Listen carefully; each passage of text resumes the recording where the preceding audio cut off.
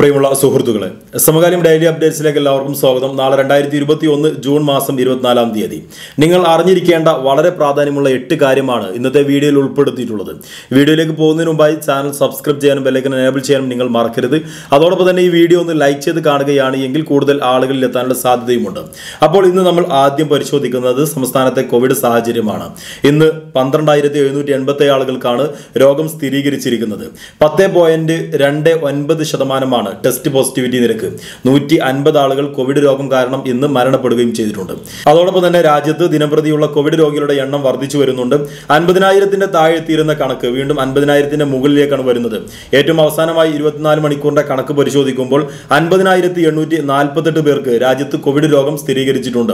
ഏറെ ആശങ്കയോട് കൂടിയിട്ടാണ് ഈ ഒരു ഉയരുന്ന കണക്കിനെ രാജ്യം ഉറ്റുനോക്കുന്നത്. ഇനി വാക്സിനുമായി ബന്ധപ്പെട്ട ചില അപ്ഡേഷനുകൾ പരിശോധിക്കുമ്പോൾ സംസ്ഥാനത്ത് ഒരു കോടി ഫസ്റ്റ് ഡോസ് വാക്സിൻ ഇതിനകം തന്നെ വിതരണം ചെയ്തിട്ടുണ്ട്. ഇരുപത്തിയാറ് പോയിന്റ് എട്ട് ഒൻപത് ലക്ഷം പേർക്ക് സെക്കൻഡ് ഡോക്സ് വാക്സിനും വിതരണം പൂർത്തീകരിച്ചിട്ടുണ്ട് എന്നാണ് സംസ്ഥാന സർക്കാർ അവകാശപ്പെടുന്നത്. മൂന്നാമതായി നമ്മൾ സംസാരിക്കുന്നത് നിരവധി ആളുകൾ കമന്റ് ബോക്സിൽ ചോദിക്കുന്ന ഒരു കാര്യമാണ്. മൊറട്ടോറിയവുമായി ബന്ധപ്പെട്ട് എന്തെങ്കിലും അപ്ഡേറ്റ്സ് വന്നിട്ടുണ്ടോ എന്ന്. നിങ്ങൾ അറിഞ്ഞിരിക്കേണ്ട ഒരു കാര്യം ആർ ബി ഐയോ അതല്ലെങ്കിൽ കേന്ദ്ര സർക്കാരോ ആണ് ഈ ഒരു കാര്യത്തിൽ അന്തിമമായ തീരുമാനമെടുക്കേണ്ടത്.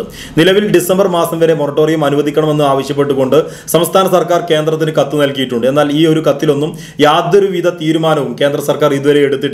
ഇപ്പോൾ ഏറ്റവും പുതിയ അതല്ലെങ്കിൽ ഇപ്പോൾ നിലനിൽക്കുന്ന ഒരു സാഹചര്യം എന്ന് പറയുന്നത് ലോണുകൾ അടക്കാൻ ബുദ്ധിമുട്ടുള്ള ആളുകൾക്ക് അത് പുനഃക്രമീകരിച്ച് നൽകാൻ ബാങ്കുകളോട് ആർ ബി ഐ ആവശ്യപ്പെട്ടിട്ടുണ്ട്.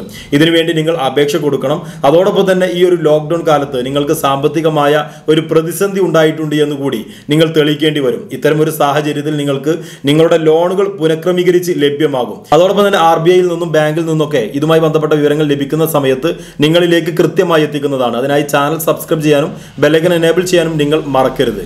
നാലാമതായി വളരെ പ്രാധാന്യമുള്ള ഒരു കാര്യമാണ്. അതായത് കോവിഡിന്റെ പ്രത്യേകമായ മാനദണ്ഡം പാലിച്ചുകൊണ്ട് ഒറ്റ ഇരട്ട നമ്പറുകളിൽ അവസാനിക്കുന്ന ബസ്സുകൾ ഓരോ ദിവസം ഇടവിട്ടാണ് ഇപ്പോൾ റൂട്ടിൽ ഓടിക്കൊണ്ടിരിക്കുന്നത്. എന്നാൽ ഒരു ബസ് മാത്രം സർവീസ് നടത്തുന്ന റൂട്ടുകളിൽ ഈ നിയമം ബാധകമല്ല എന്നാണ് ഗതാഗത മന്ത്രി അറിയിച്ചിരിക്കുന്നത്. അതായത് ചില റൂട്ടുകളിൽ ഒരു ബസ് മാത്രമായിരിക്കും സർവീസ് നടത്തുന്നത്. അപ്പോൾ സ്വാഭാവികമായിട്ടും ഒറ്റ ഇരട്ട നമ്പറുകൾ മാറിയിട്ട് ബസ്സുകൾ ഓടാൻ സാധിക്കില്ല. ഇത്തരം സന്ദർഭങ്ങളിൽ ആ ഒരു ബസ്സിന് തന്നെ ഒറ്റ ഇരട്ട നമ്പർ നോക്കാതെ റൂട്ടിൽ ഓടാമെന്നാണ് ഗതാഗത മന്ത്രി അറിയിച്ചിരിക്കുന്നത്. എന്നാൽ ശനി ഞായർ ദിവസങ്ങളിൽ സർവീസ് ഉണ്ടായിരിക്കുന്നതല്ല. അഞ്ചാമതായി നമ്മൾ സംസാരിക്കുന്നത് നമ്മുടെ സംസ്ഥാനത്തെ അഞ്ച് സുപ്രധാനമായ ഡാമുകൾക്ക്. തീവ്രവാദ ഭീഷണിയുണ്ട് എന്നാണ് രഹസ്യാന്വേഷണ വിഭാഗം അധികൃതരോട് പറഞ്ഞിരിക്കുന്നത്. അഞ്ച് ഡാമുകൾക്കുള്ള സുരക്ഷ ഇതിന്റെ ഭാഗമായി കൊണ്ട് ശക്തമാക്കുകയും ചെയ്തിട്ടുണ്ട്. അതായത് ഇടുക്കി ചെറുതോണി കുളമാവ് പാമ്പള കല്ലാറൂട്ടി ജലാശയങ്ങളുടെ സുരക്ഷ ഉറപ്പുവരുത്തണമെന്നാണ് രഹസ്യാന്വേഷണ വിഭാഗം അധികൃതർക്ക് നിർദ്ദേശം നൽകിയത്. ഇതിനെ തുടർന്ന് അധികൃതർ ക്യാമറകൾ സ്ഥാപിക്കാനുള്ള അടിയന്തര നടപടികൾ സ്വീകരിച്ചിട്ടുണ്ട്. ചെറുതോണിയിലും തിരുവനന്തപുരത്തുമായി കൊണ്ട് ഡാമിലെ തത്സമയ ദൃശ്യങ്ങൾ വിശകലനം ചെയ്യുകയും ചെയ്യും. ഇതിനായി പ്രത്യേക ഉദ്യോഗസ്ഥരെ നിയോഗിച്ചിട്ടുണ്ട്. ഇതോടെ ഡാമുകളുടെ ജലനിരപ്പ് ഉൾപ്പെടെയുള്ള വിവരങ്ങൾ തലസ്ഥാനത്തും ഇടുക്കിയിലുമായി ഇരുപത്തിനാല് മണിക്കൂറും രേഖപ്പെടുത്തുകയും ചെയ്യും. ആറാമതായി നമ്മൾ സംസാരിക്കുന്നത് വിസ്മയുടെ മരണവുമായി ബന്ധപ്പെട്ട കാര്യമാണ്. അതായത് വിസ്മയുടെ മരണം അന്വേഷിക്കുന്ന അർഷിത അട്ടല്ലൂർ എന്ന സ്ഥലത്തെത്തി അന്വേഷണം ആരംഭിച്ചിട്ടുണ്ട്. പ്രതികൾക്കെതിരെ ശക്തമായ തെളിവുകളുണ്ട് എന്നാണ് അന്വേഷണ ഉദ്യോഗസ്ഥ പറഞ്ഞിരിക്കുന്നത്. അയൽവാസികളുടെയും കുടുംബാംഗങ്ങളുടെയും സ്റ്റേറ്റ്മെന്റുകൾ രേഖപ്പെടുത്തും ഇലക്ട്രോണിക്സ് ഡോക്യുമെന്റുകളും അതോടൊപ്പം തന്നെ തെളിവുകളും കൃത്യമായി ശേഖരിക്കും.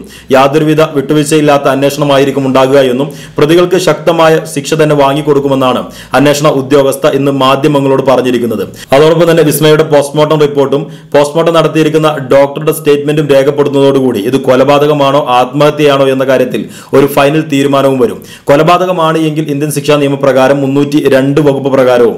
ഇത് ആത്മഹത്യയാണ് എങ്കിൽ മുന്നൂറ്റി നാല് ബി പ്രകാരവുമായിരിക്കും പ്രതികൾക്കെതിരെ കേസ് രജിസ്റ്റർ ചെയ്ത് മുന്നോട്ട് പോകുന്നത് അടുത്തായി നമ്മൾ സംസാരിക്കുന്നത് നമ്മുടെ സംസ്ഥാനത്ത് ഭിന്നശേഷിക്കാർക്കുള്ള പ്രത്യേകമായ ഒരു വായ്പാ പദ്ധതിയാണ്. അൻപത് ലക്ഷം രൂപ വരെ പത്ത് വർഷം കൊണ്ട് തിരിച്ചടക്കാവുന്ന വായ്പകളാണ് ഇപ്പോൾ സർക്കാർ പ്രഖ്യാപിച്ചിരിക്കുന്നത്. ഈ പദ്ധതിയിൽ അംഗമായി നിങ്ങൾ അഞ്ച് ലക്ഷം രൂപയാണ് വായ്പ എടുക്കുന്നത് എങ്കിൽ നിങ്ങൾ നാല് ലക്ഷം രൂപ മാത്രം തിരിച്ചടച്ചാൽ മതി.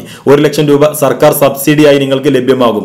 ഇതുമായി ബന്ധപ്പെട്ട കൂടുതൽ വിവരമൊക്കെ ഡിസ്ക്രിപ്ഷൻ ചേർത്തിട്ടുണ്ട്. ഡിസ്ക്രിപ്ഷൻ കാണുകയാണ് എങ്കിൽ തീർച്ചയായിട്ടും കാര്യങ്ങൾ നിങ്ങൾക്ക് കൂടുതൽ വ്യക്തമാകും. അപ്പോൾ ഇന്ന് പങ്കുവച്ചിരിക്കുന്ന വളരെ സുപ്രധാനമായ കാര്യങ്ങൾ നിങ്ങൾക്ക് ഇഷ്ടമായെങ്കിൽ വീഡിയോ ലൈക്ക് ചെയ്യാനും ഷെയർ ചെയ്യാനും മറക്കരുത്. മറ്റൊരു ഇൻഫർമേറ്റീവായ വീഡിയോയുമായി നമുക്ക് വീണ്ടും കാണാം. വീഡിയോ പൂർണമായി കണ്ടതിന് എല്ലാവർക്കും നന്ദി.